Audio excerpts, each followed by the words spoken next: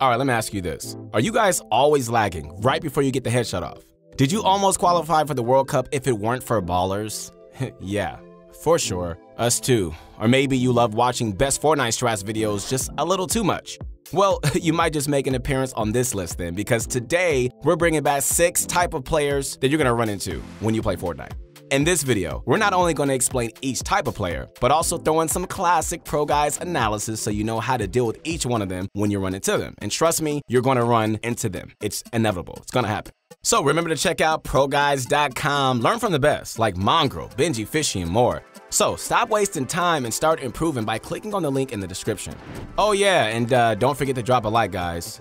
Anyways, let's get this started. Hey, this is your guy Keith Allen. I'm so excited for this video. Make sure you connect with me on my Instagram. Been enjoying all the feedback, conversations, questions. We got a great community developing. It is amazing. Anyone with any experience in Fortnite has met one of these players. It's inevitable, like I said. But when you do, you don't want to be a deer in the headlights. Instead, we're going to show you how to counter them. Yes, no matter what kind of player you're going up against, there's always something that you can get better. So hopefully, we can help today. It wouldn't be a list without the bot. Hey, they're so common.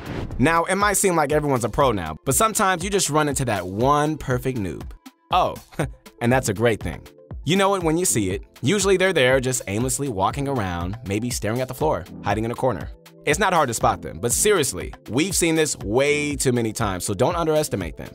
Haven't we all gotten randomly lasered by someone who you just thought you could just take out with no problem? Yeah, it happens to the best. Everyone has that moment, and it sucks. I mean, sometimes when their playstyle is just so random, it's just hard to know what they're gonna do next. Hey, they don't even know what they're doing next. Okay, so now that we made that clear, so what should you do? Good question. Well, not that much to be honest. Just make sure you're always covered. Don't expose yourself too much, or even the worst player can get a quick headshot off. The best strategy, guys, is to do one of these that we learned from my boy Tfue. What you've got to do is just get a little bit of high ground, then jump forward, shoot, and before you fall, place a floor below you. Most bots don't even have the reaction times to hit you, so it's an easy way to kill them without risking your HP. Ta-da! Now, this one really gets my blood boiling. I mean, I get hot over this. Deep breath, third partiers. Oh my goodness. You get in a good fight, right? You're really feeling it. This is your day, you're getting some kills in, everything is just going the way you want it. Now, you're really getting up there, right? So close to height, and wait, what? You can't build? Then you realize it's like slow motion someone shot you out. And the worst thing about it is there's nothing you can do. And you just wait for your inescapable death. Wow. It's probably the most annoying thing that can happen to you. I mean, I, I've said many times that I was never gonna play again after that happened to me. So, who killed you? Okay, this is the thing that really gets on my nerves. It's some guy sitting in a one by one, 170 meters away. Wow. I think I need therapy, guys. What about you? This is just the guy who refuses to fight, right? They'll wait games upon games, not even looking at other players until they find two other people fighting. Then they just start raining bullets. Don't you just hate those little 20 damage shots they hit you with? Oh my goodness. Yeah, we all do.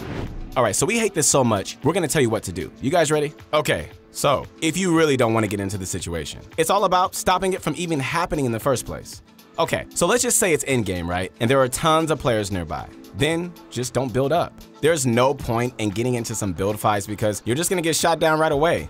Instead, hey, try to just keep low. And if you have to, you could just even jump down and try to break the one you're fighting down. But if you just happen to get caught in that situation, hey, then you just need to react right away. And as soon as you hear shots your way, start water falling down. If you start doing that right away, hey, you're not gonna die from fall damage every time. Also, if you have a flintlock, then you're in luck. Just pull that out and right before you hit the ground, take an unscoped shot at the ground. Make sure not to do it too early because you could still take fall damage if you bounce too high. And if you're really a daredevil, you can try this. Although it's not something to rely on, it's just a last resort kind of thing. Once you're already broken and falling, whip out a launch pad and start spamming the place trap button.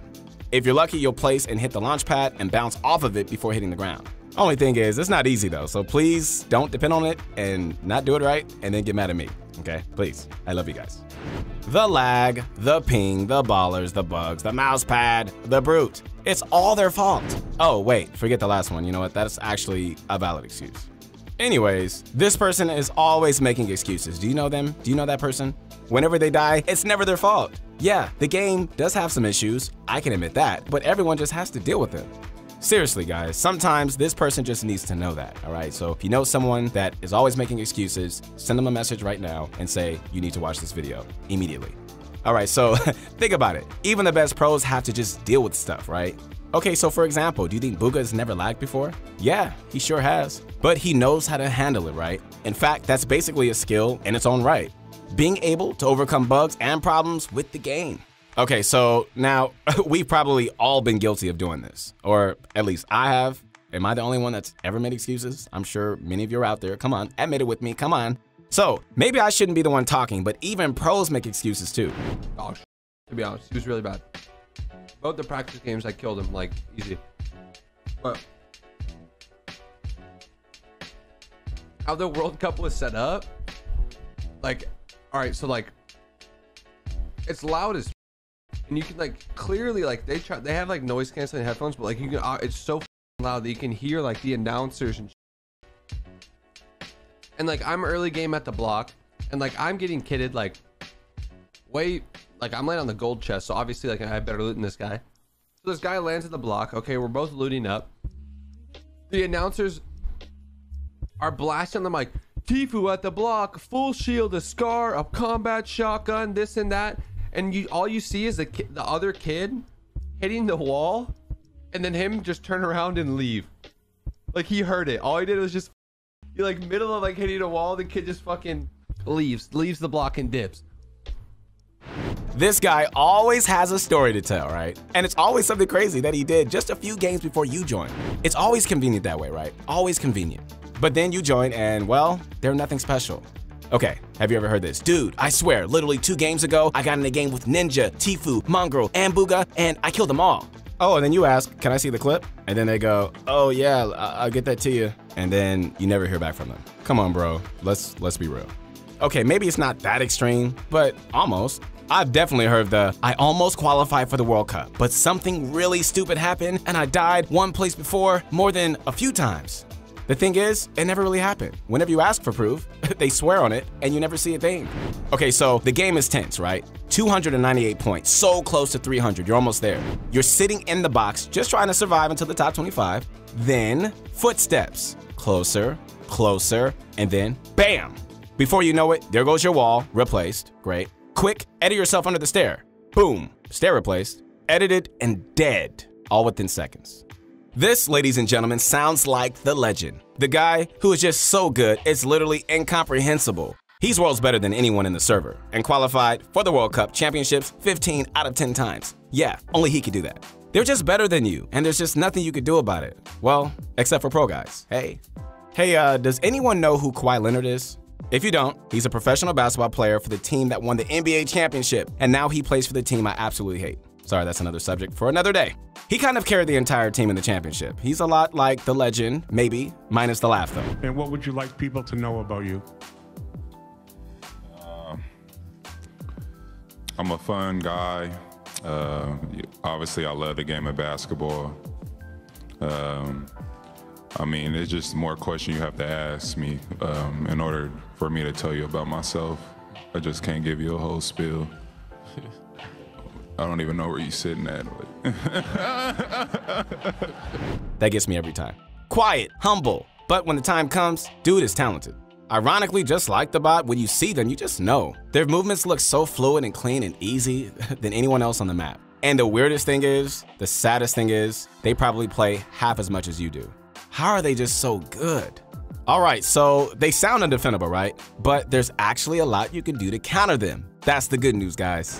The best thing that you can do is to constantly be playing against them, right? If you're always playing against people who are better than you, what's gonna happen naturally is you're gonna start getting better. That's just how it is. If you're having a hard time finding them, okay, I recommend jumping into a Zone war server. There's normally one or two really good players in there, and you could just get used to playing against them in a realistic scenario. Although, if the time comes when you actually are going to have to play against them in an actual game, well, this is what you should do. Number one, ladies and gentlemen, is trying to stay away.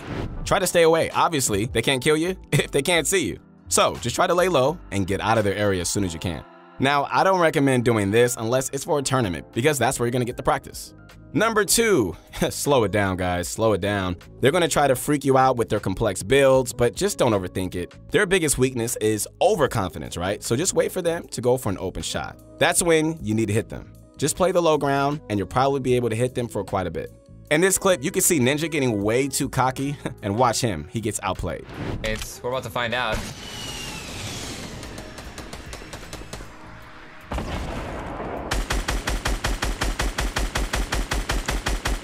The heck is it? like? Why are my bullets not hurting that? I got uh, different team, bro, on the right. Oh no, it's the same guy. Spaceman made it on the hill. Frick, dude, I tunneled the dude on the roof or the top of the mountain. Oh, oh. In there, relatable. I'm looking at it. All the advantages. His teammate. Oh, that's a different Nice squad up shot! there, bro. Wow, dude. Oh wow.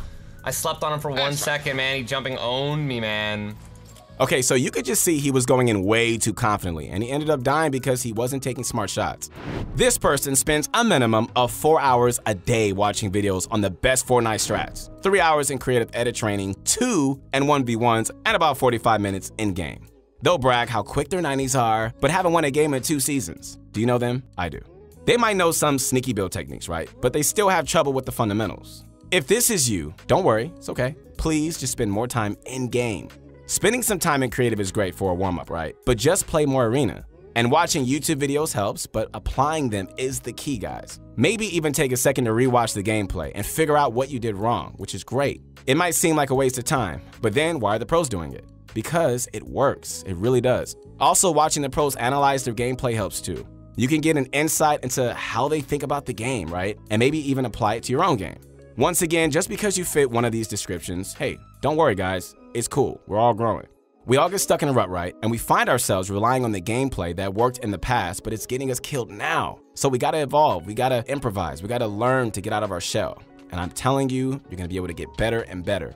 If your game is feeling stale, hey, change some things up. Try this. Let yourself die, okay? Whatever. It hurts, but that which already killed you now makes you stronger. If you're really stuck in a rut, you can also check out our new coaching service on Pro Guides. They'll pinpoint where you're struggling, right? And they're gonna help you improve. You really can learn from the best now.